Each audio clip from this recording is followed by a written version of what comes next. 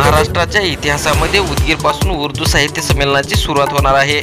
मागील वर्षापासून उदगीर येथे सदा फाउंडेशनच्या माध्यमातून जंग कलम और किताब या कार्यक्रमाची सुरुवात झाली होती.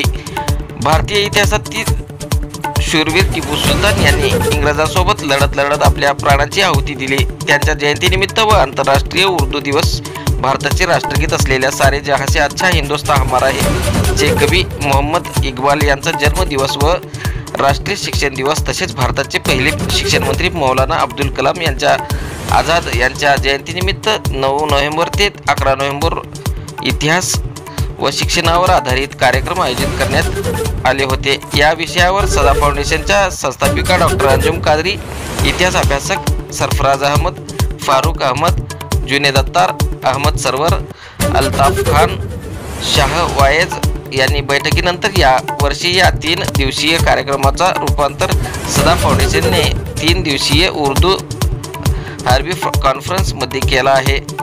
महाराष्ट्राच्या उर्दू साहित्य इतिहासामध्ये पहिल्यांदाच होत असल्याचं सांगितले आहे.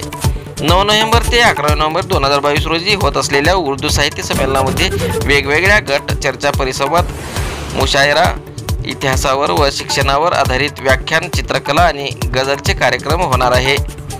देशातील नामवंत इतिहास अभ्यासक Ram Punyani Sameer Ahmed Siddiqui I A S coach Urdu शायर जोहर कानपुरी शबीना अदीब अबरार शा काशिफ हाशिम फेरोजाबी दी नईम फराज शशिभूषण समद मोहम्मद भुसावली मुबिन अखिल इम्रान रागिन रागिब अझहर शेख उपस्थित राहणार आहेत. गुंटूर आंध्र प्रदेश येथून सय्यद नसीर अहमद यांच्या संकल्पनेतून तयार झालेली स्वतंत्रता सैनानी स्वतंत्रता सेनानी यांची poster gallery Udgir poster gallery संविधान यात्रा तसेच असे चित्र प्रदर्शन होणार आहेत. या ठिकाणी मान्यवरांचे विशेष व्याख्यान होणार आहे.